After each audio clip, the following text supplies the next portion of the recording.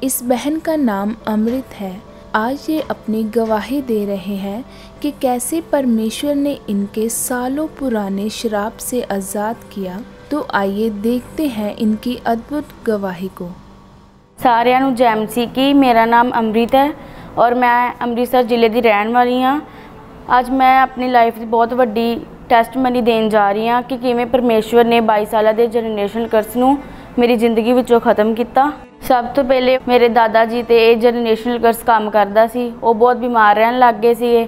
ਉਹਨਾਂ ਦੇ ਗੁਰਦੇ ਵੀ ਖਰਾਬ ਹੋ ਗਏ ਤੇ ਉਹਨਾਂ ਦੀ ਬੋਡੀ ਤੇ ਬਹੁਤ ਜ਼ਿਆਦਾ ਨੀਲ ਪੈਂਦੇ ਸੀ। ਇਸੇ ਬਿਮਾਰੀ ਦੇ ਦੌਰਾਨ ਉਹਨਾਂ ਦੀ ਡੈਥ ਹੋ ਗਈ। ਉਸ ਤੋਂ ਬਾਅਦ ਸੇਮ ਸਪਿਰਿਟ ਇਹੀ ਮੇਰੇ ਤਾਇਆ ਜੀ ਦੇ ਉੱਪਰ ਕੰਮ ਕੀਤੀ। ਉਹ ਵੀ ਬਹੁਤ ਬਿਮਾਰ ਰਹਿਣ ਲੱਗ ਗਏ ਔਰ ਉਹਨਾਂ ਦੀ ਵੀ ਇਸੇ ਕਾਰਨ ਡੈਥ ਹੋ ਗਈ। ਤਾਇਆ ਜੀ ਤੋਂ ਬਾਅਦ ਸੇਮ ਅਟੈਕ ਇਹੀ ਮੇਰੀ ਚਾਚੀ ਜੀ ਤੇ ਚਾਚਾ ਦੇ ਉੱਪਰ ਹੋਣੇ ਸ਼ੁਰੂ ਹੋ ਗਏ। ਉਹਨਾਂ ਦੇ ਵਿੱਚ ਬਹੁਤ ਜ਼ਿਆਦਾ ਝਗੜਾ ਰਹਿੰਦਾ ਸੀ। ਜਿਸ ਕਾਰਨ ਮੇਰੀ ਚਾਚੀ ਜੀ ਨੇ ਸੁਸਾਈਡ ਕਰ ਲਿਆ। ਉਸ ਤੋਂ ਬਾਅਦ ਕੰਟੀਨਿਊਸਲੀ ਇਦਾਂ ਹੀ ਇਹ ਕਰਸ ਕੰਮ ਕਰਦਾ ਰਿਹਾ। ਫਿਰ 2014 ਵਿੱਚ ਮੇਰੇ ਮੰਮਾ ਦੀ ਵੀ ਡੈਥ ਹੋ ਗਈ, ਉਹਨਾਂ ਨੂੰ ਟੀਵੀ ਹੋ ਗਈ ਸੀ ਔਰ ਉਹ ਵੀ ਬਹੁਤ ਜ਼ਿਆਦਾ ਬਿਮਾਰ ਰਹਿੰਦੇ ਸੀ। ਉਹਨਾਂ ਦਾ ਬਹੁਤ ਜ਼ਿਆਦਾ ਅਸੀਂ ਇਲਾਜ ਵੀ ਕਰਵਾਇਆ, ਪਰ ਕੋਈ ਫ਼ਰਕ ਨਹੀਂ ਪਿਆ।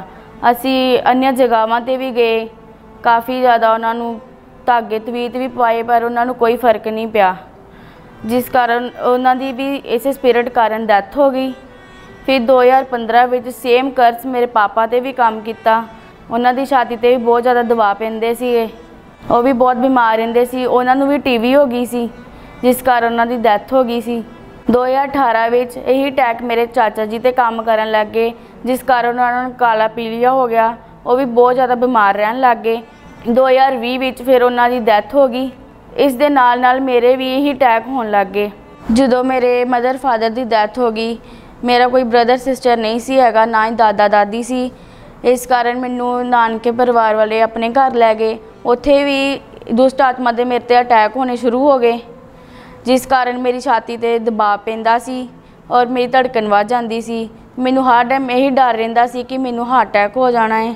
ਇਸ ਕਰਕੇ ਮੈਂ ਬਹੁਤ ਜ਼ਿਆਦਾ ਪਰੇਸ਼ਾਨ ਰਹਿਣ ਲੱਗ ਗਈ। ਰੋਜ਼ਾਨਾ ਰਾਤ 12 ਵਜੇ ਦੇ ਬਾਅਦ ਮੇਰੇ ਛਾਤੀ ਤੇ ਦਬਾਅ ਪੈਣਾ ਸ਼ੁਰੂ ਹੋ ਜਾਂਦਾ ਸੀ, ਜਿਸ ਕਾਰਨ ਮੈਨੂੰ ਬਹੁਤ ਜ਼ਿਆਦਾ ਪੇਨ ਫੀਲ ਹੁੰਦੀ ਸੀ। ਮੈਨੂੰ ਐਂ ਲੱਗਦਾ ਸੀ ਜਿਵੇਂ ਕਿਸੇ ਨੇ ਮਾਰ ਦੇਣਾ ਹੈ।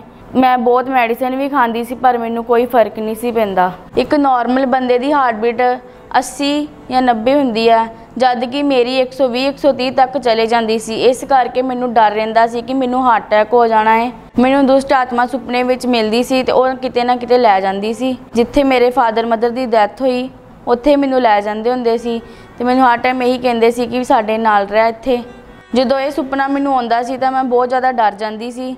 ਫਿਰ ਜਦੋਂ ਮੈਂ ਮਾਰਨਿੰਗ ਉੱਠਦੀ ਸੀ ਤਾਂ ਮੈਂ ਆਪਣੀ ਨਾਨੀ ਨਾਲ ਗੱਲਾਂ ਸ਼ੇਅਰ ਕਰਦੀ ਹੁੰਦੀ ਸੀ, ਜੋ ਵੀ ਮੈਨੂੰ ਰਾਤ ਨੂੰ ਸੁਪਨੇ ਆਉਂਦੇ ਸੀ।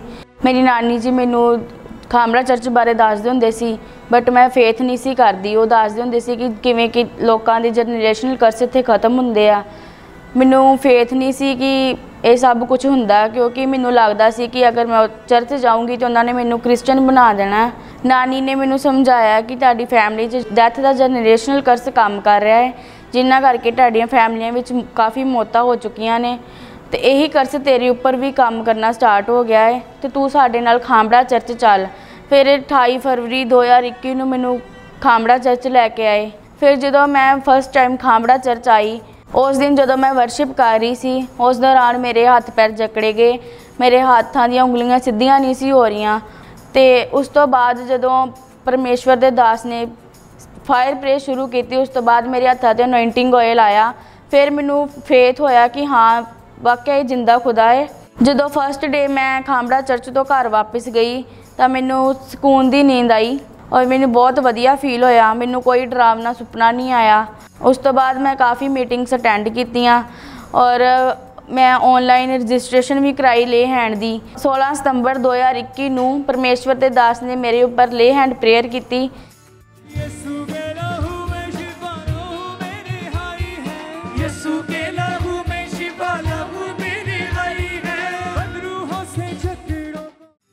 ਜਿਸ ਨਾਲ ਮੈਨੂੰ ਬਹੁਤ ਜ਼ਿਆਦਾ ਠੰਡਕ ਫੀਲ ਹੋਈ ਉਸ ਟਾਈਮ ਔਰ ਮੇਰਾ ਸਰੀਰ ਬਹੁਤ ਜ਼ਿਆਦਾ ਹਲਕਾ ਹੋ ਗਿਆ। ਉਸ ਦਿਨ ਤੋਂ ਲੈ ਕੇ ਹੁਣ ਤੱਕ ਮੇਰੇ ਉੱਪਰ ਕੋਈ ਦੁਸ਼ਟ ਆਤਮਾ ਦਾ ਅਟੈਕ ਨਹੀਂ ਹੁੰਦਾ ਔਰ ਨਾ ਹੀ ਮੇਰੀ ਛਾਤੀ ਤੇ ਦਬਾਅ ਪੈਂਦਾ ਹੈ ਔਰ ਨਾ ਹੀ ਕੋਈ ਨੀਲ ਪੈਂਦਾ ਹੈ ਬੋਡੀ ਉੱਪਰ। ਔਰ ਨਾ ਹੀ ਮੇਰੀ ਧੜਕਣ ਵਧੀ ਔਰ ਨਾ ਹੀ ਮੇਰੀ ਕੋਈ ਬੋਡੀ 'ਚ ਪੇਨ ਹੁੰਦਾ ਹੈ। ਉਸ ਦਿਨ ਤੋਂ ਬਾਅਦ ਮੈਂ ਡੈਥ ਦੇ ਜਨਰੇਸ਼ਨਲ ਕਰਜ਼ ਤੋਂ ਪੂਰੀ ਤਰ੍ਹਾਂ ਫ੍ਰੀ ਹਾਂ। ਮੈਂ ਸਾਰਿਆਂ ਨੂੰ ਇਹੀ ਕਹਿਣਾ ਚਾਹੁੰਦੀ ਹਾਂ ਕਿ ਪ੍ਰਭੂ ਉੱਤੇ ਵਿਸ਼ਵਾਸ ਕਰੋ, ਕਿਉਂਕਿ ਉਹੀ ਜਿੰਦਾ ਖੁਦਾ, ਉਹੀ ਹਰ ਕੰਮ ਕਰਨ ਦੀ ਸਮਰੱਥ ਰੱਖਦਾ ਜਿਵੇਂ ਪ੍ਰਭੂ ਨੇ ਮੇਰੀ ਲਾਈਫ 'ਚੋਂ ਡੈਥ ਸਪਿਰਿਟ ਖਤਮ ਕੀਤੀ ਹੈ, ਐਵੇਂ ਪ੍ਰਭੂ ਤੁਹਾਨੂੰ ਵੀ ਸਾਰੇ ਕੰਮਾਂ ਤੋਂ ਆਜ਼ਾਦ ਕਰੇਗਾ। ਇਸ ਵੱਡੇ ਛੁਟਕਾਰੇ ਲਈ ਮੈਂ ਪਰਮੇਸ਼ਵਰ ਤੇ ਪਰਮੇਸ਼ਵਰ ਦਾ ਦਾਸ ਦਾ ਦਿਲੋਂ ਧੰਨਵਾਦ ਕਰਦੀ ਹਾਂ। ਸਾਰਿਆਂ ਨੂੰ ਜੈ ਮਸੀਹ ਕੀ। हमारे YouTube चैनल को सब्सक्राइब करें ताकि आप परमेश्वर के गहरे वेदों को जान सके कि कैसे आप परमेश्वर में बढ़ सकते हैं, कैसे आप दुष्ट आत्माओं से, नशों से, बीमारियों से और वंशों के श्रापों से आज़ाद हो सकते हैं।